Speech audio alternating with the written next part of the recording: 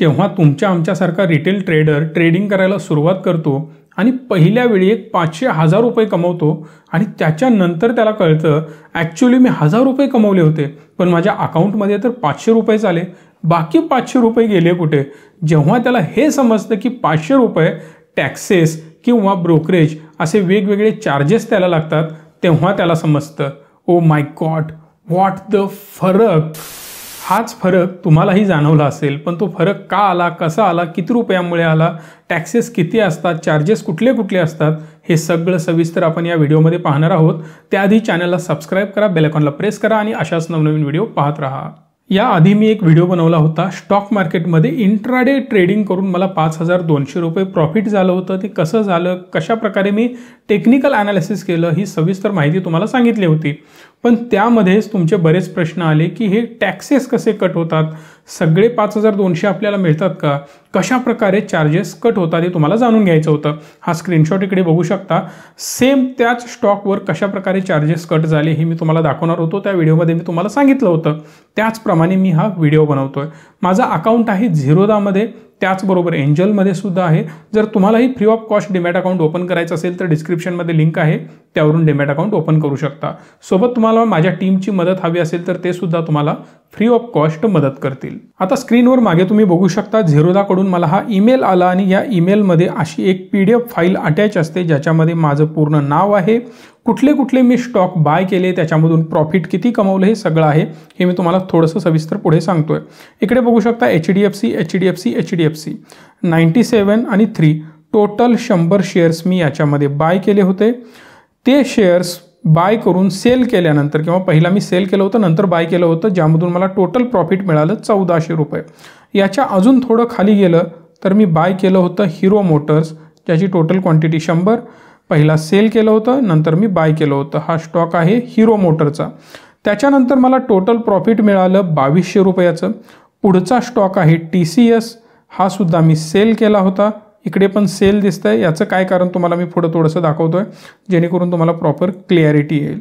इकडे बघू शकता अठरा क्वांटिटी पाच क्वांटिटी तीस अडतीस नऊ.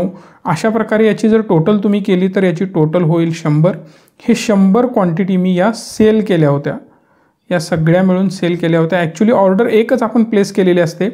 पण एका ऑर्डरमधून मल्टिपल बाईंग्ज होतं.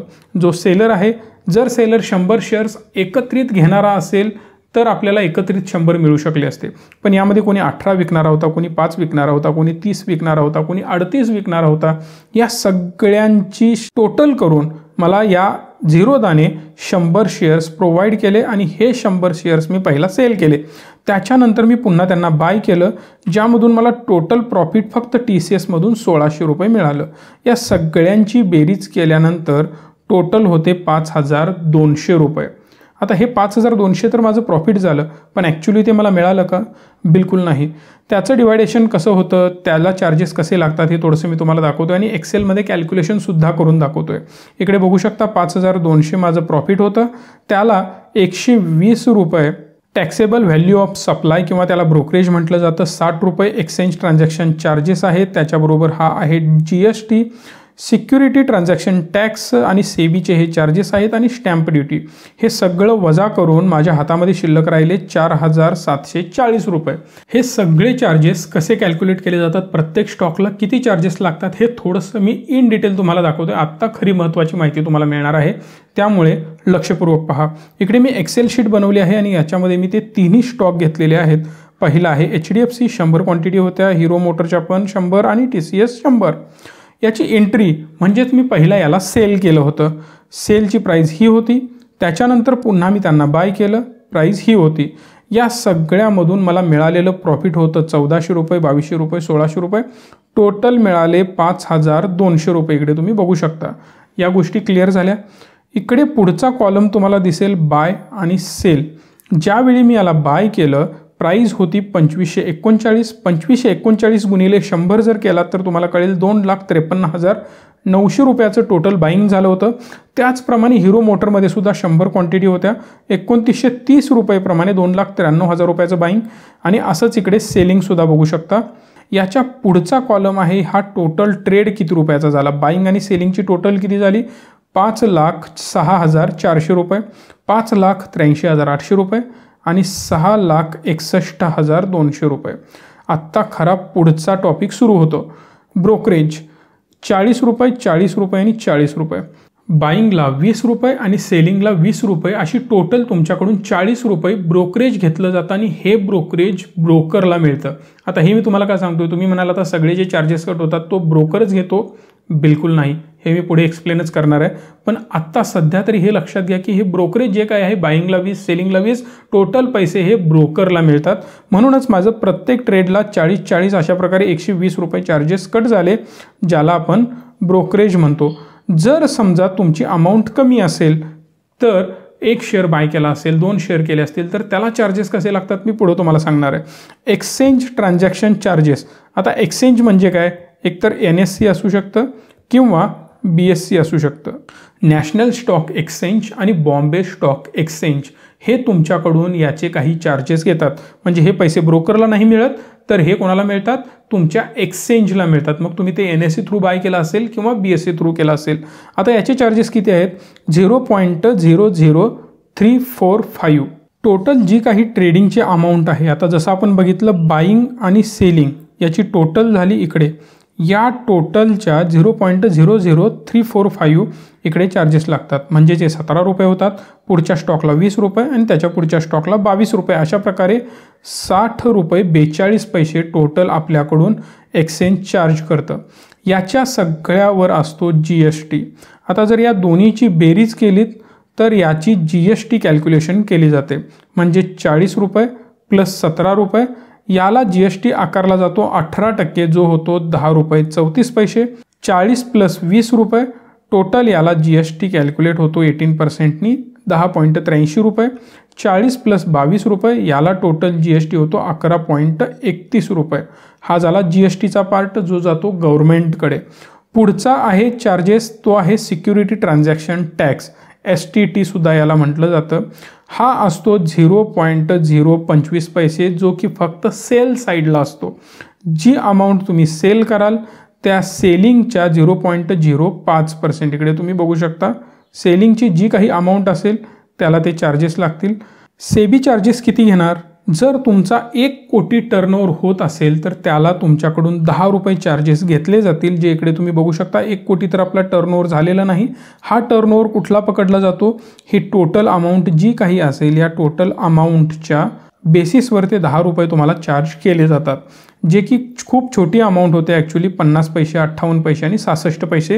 हे सेबीला गेले. टोटल माझ्या ट्रेडमधील एक रुपये पंच्याहत्तर पैसे हे सेबीला गेले. त्याच्या पुढे असते स्टॅम्प ड्युटी आता सेबीचा टर्नओव्हर सेबीचे चार्जेस हे फक्त सेबीकडे जातात. आणि जी स्टॅम्प ड्युटी आहे जी असेल zero point zero zero three percent ही मात्र गव्हर्मेंटकडे जाते. इंडियन गव्हर्नमेंटकडे ही जी काही स्टॅम्प ड्युटी आहे ती दिली जाते. Zero point zero zero three पर्सेंटनी जी काही तुमची बाईंग झाली असेल पहिल्यांदा त्या बाईंग प्राईजवर ही टोटल अमाऊंट आकारली जाते फक्त बाईंग साईडला जसे की इकडे बघू शकता पहिल्या स्टॉकला मला सात रुपये एकसष्ट पैसे दुसऱ्या असेल आठ पॉईंट एकोणऐंशी आणि तिसरी अमाऊंट असेल नऊ पॉईंट चौऱ्याण्णव. टोटल सव्वीस रुपये चार्जेस माझ्याकडून घेतले गेले. आता या सगळ्या चार्जेसची टोटल काय होते इकडे तुम्ही बघू शकता. पाच हजार दोनशे रुपये माझं प्रॉफिट होतं आणि त्याच्यामधून चार्जेस हे जे काही आपण मगाशी पाहिले ते टोटल चार्जेस होतात चारशे एकोणसाठ पॉईंट तीन पैसे जे की माझं नेट प्रॉफिट होईल चार हजार सातशे चाळीस रुपये. जसं आपण मगाशी बघितलं होतं जो मला ईमेल आला होता त्याच्यामध्ये लिहिलं होतं चार हजार सातशे चाळीस रुपये फक्त मला मिळाले आणि बाकी सगळे चार्जेस कट झाले. या सगळ्याचं एक्सप्लेनेशन मी तुम्हाला दाखवलं आहे. पण आता तुम्ही विचार कराल जर मी एक स्टॉक बाय केला दोन स्टॉक बाय केले तर माझ्याकडून चाळीस रुपये कट होणार आहेत का? हंड्रेड पर्सेंट नाही. त्यासाठी मी तुम्हाला दाखवतो एका स्क्रीनवर आता आपण पाहणार आहोत जर तुम्ही एक दोन तीन क्वांटिटी बाय केला तर काय होईल? आता समजा तुम्ही एच डी एफ सीचा एक स्टॉक बाय केला हिरो मोटरचा पण एकच केला असेल आणि टी सी एसचा पण एकच केला असेल बाकी शीट सेम तशीच आहे. फक्त याच्यामध्ये चेंज झाली आहे क्वांटिटी प्राईज मी तीच कन्सिडर करतोय जी मी बाय आणि सेलला केली होती तीच प्राईज आपण इकडे कन्सिडर करतो आहे याची बघू शकता एंट्री एक्झिट टोटल प्रॉफिट मला चौदा रुपये म्हणजेच बावन्न रुपये प्रॉफिट झाला आहे. टोटल बाईंग टोटल सेलिंग आणि या सगळ्याची टोटल अमाऊंट ट्रेडिंगची ही तुम्हाला दिसत असेल. आता इकडे महत्त्वाचा फरक एक तुम्हाला जाणवेल. ब्रोकरेज मला एक पॉईंट पाच एक पॉईंट सात पाच एक पॉईंट नऊ आठ. टोटल ब्रोकरेज फक्त पाच रुपये पंचवीस पैसे का लागलं? कारण तुम्हाला तर माहिती आहे इंट्राडे जर तुम्ही करत असाल तर बाईंगला वीस आणि सेलिंगला वीस लागतं. हे ब्रोकरेज कमी असण्याचं कारण म्हणजे जेव्हा तुम्ही खूप कमी अमाऊंट इन्व्हेस्ट करता त्यावेळी तुमच्याकडून फक्त zero point zero three percent charges घेतले जातात. आता झिरो पॉईंट झिरो थ्री पर्सेंटच का? हे मी तुम्हाला थोडंसं सांगण्याचा प्रयत्न करतो आहे समजा तुमची अमाऊंट एक लाख रुपये असेल. एक लाख रुपयाच्या जर आपण झिरो पॉईंट झिरो थ्री पर्सेंटनं कॅल्क्युलेशन केलं तर ती टोटल अमाऊंट होईल तीस रुपये. पण ॲक्च्युली हे तीस रुपये तुमच्याकडून घेतले जाणार नाहीत. इकडे मात्र तुमच्याकडून वीस रुपयेच घेतले जाणार. कारण वीस रुपये किंवा zero point zero three percent याच्यापैकी कुठली अमाऊंट छोटी असेल ती तुमच्याकडून घेतली जाईल. जर समजा तुम्ही दहा हजाराचंच बाईंग केलं असेल आणि झिरो पॉईंट झिरो थ्री पर्सेंटने जर कॅल्क्युलेशन केलं तर ते फक्त तीन रुपये होतात. मग त्यावेळी तुमच्याकडून वीस रुपये घेतले जाणार नाहीत फक्त तीन रुपये घेतले जाणार. आता ह्या कॅल्क्युलेशनमध्ये जर बघितलं तर आपण बावन्न रुपये इकडे प्रॉफिट कमवलं आहे. मग हे बावन्न रुपये प्रॉफिट आणि जर तुमच्याकडून वीस रुपये चार्जेस घेतले असते तर एकशे वीस रुपये फक्त इकडे ब्रोकरेजेस गेलं असतं. मग तुमच्या हातामध्ये शिल्लक काय राहणार? त्यामुळे हा फॉर्म्युला इकडे वापरला जातो. पण काही ब्रोकर तुमच्याकडून डायरेक्ट वीस रुपयेच घेतात. त्यामुळे योग्य ब्रोकरकडे डिमॅट अकाउंट ओपन करणं गरजेचं आहे. दिलेल्या नंबरवर कॉल करा. माझी टीम तुम्हाला हेल्प करेल. पुढचे चार्जेस तुम्ही बघू शकता. एक्सचेंज ट्रान्झॅक्शन चार्जेस असतील जे की zero point zero zero three four five percent असतात. त्याला अठरा टक्के जी एस टी लागतो. पुढे जाऊन सिक्युरिटी ट्रान्झॅक्शन टॅक्स आहे. प्लस सेबीचा टर्नओव्हर फी आहे आणि स्टॅम्प ड्युटी आहे. हे सगळे चार्जेस जर आपण बघितले तर थोडंसं खाली कॅल्क्युलेशन करून बघू. मला टोटल प्रॉफिट बावन्न रुपये मिळाला आहे. चार्जेस मला नऊ पॉईंट चार रुपये गेले आणि नेट प्रॉफिट शिल्लक राहिलं बेचाळीस पॉईंट सहा रुपये.